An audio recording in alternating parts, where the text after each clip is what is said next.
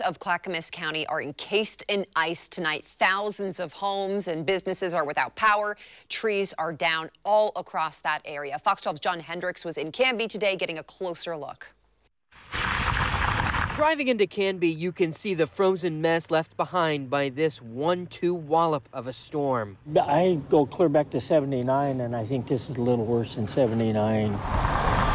The road's in good shape, but the sheer number of trees and power lines brought down keeping crews busy today. She was screaming, a tree just went down. Well into Saturday, this was the scene countywide.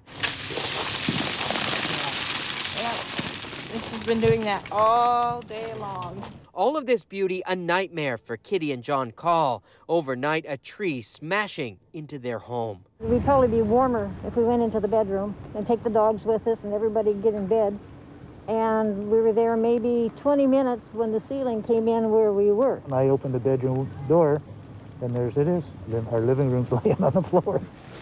It's like uh, like a bomb exploded. Their neighbors getting their own scare as well. At least it's just the one room. It could have taken out our master bedroom and oh, lots of things. Carroll, Missouri says a tree branch pierced through their remodeled bathroom finished a week ago, narrowly missing her husband. My husband was in the bathroom and came within a couple of inches of this big branch impaling him.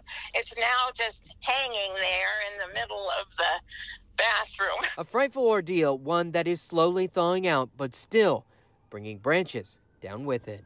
Our daughter went out and said, yeah, don't. It, it, you can't get around. John Hendricks, Fox 12 Oregon.